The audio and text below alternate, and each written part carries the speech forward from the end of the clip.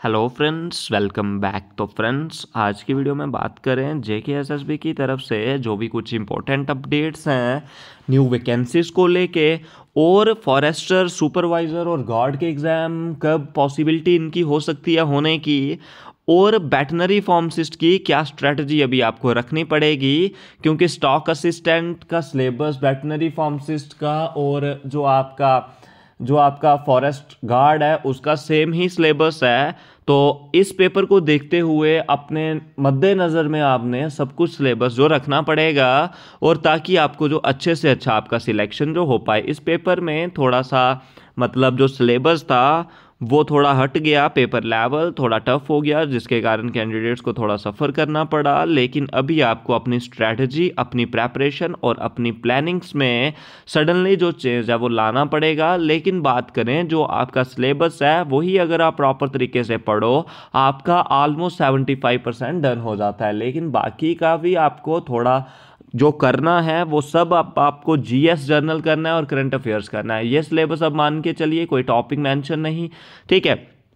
तो जे की new vacancies की भी बात करें जिसमें एन टी की उसके बाद जो जे के पी एस आई की भी बोली जा रही हैं, उसके बाद पुलिस की और लाइक जो पोस्ट बोली जा रही हैं कि रेफर कर दी गई हैं J K S S B को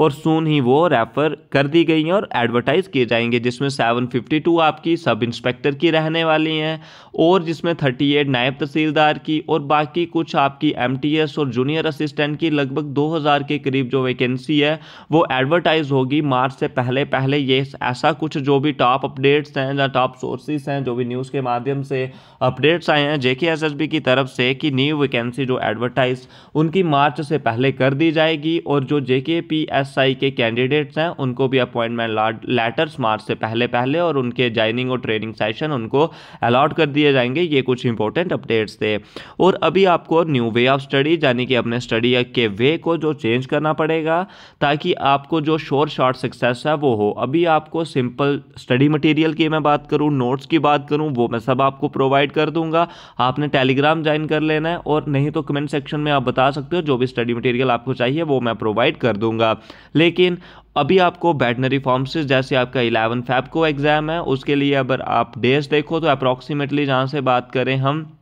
ट्वेंटी फाइव डेज़ लेके आप चल सकते हो और ट्वेंटी फाइव डेज़ में अभी आपको कैसे उसकी प्रेपरेशन करनी है, जो भी स्टॉक असिस्टेंट के एस्पिरेंट हैं, जिनको थोड़ा सा जहाँ पे धोखा लग चुका है, वो बैटनरी फार्मासिस्ट में अच्छे से मेहनत करें और उस एग्ज़ाम को क्रैक करें। देखिए स्टॉक असिस्टेंट और बैटनरी फार्मासिस्ट दोनों का लेवल चार है और दोनों का पे स्केल भी सेम है और दोनों का सिलेबस भी सेम है और पेपर भी सेम आने की आशंका है। लेकिन आपको जो सिलेबस है, वो तो जो मैंशन किया, वो तो करना ही करना है, लेकिन उसके साथ साथ आपको पॉलिटी इकोनॉमिक्स और करंट अफेयर्स भी आपको अच्छे से करना है ताकि आपका एग्ज़ाम जो बाहर ना जाए और आपके पढ़े हुए क्वेश्चन आपको आए। और हम आपको सारा कुछ कवर कराएँगे, जो भी पच्चीस दिन है, सारा स्टडी मटेरियल प्रोवाइड करेंगे और आपको अपनी स्ट्रैटेजी अपनी प्लानिंग में कुछ ना कुछ चेंजेस लानी पड़ेंगी और खूब प्रैक्टिस करनी पड़ेगी इन मैथ्स एंड रीजनिंग और साथ में इंग्लिश को भी अच्छे तरीके से आपको पढ़ना पड़ेगा, ठीक है? तो यही कुछ इंपॉर्टेंट अपडेट्स थे आपके। अगर इनके रिगार्डिंग कुछ डाउट्स हों तो कमेंट सेक्शन में ज़रूर पूछें। और साथ में बात करें फॉरेस्टर और साथ में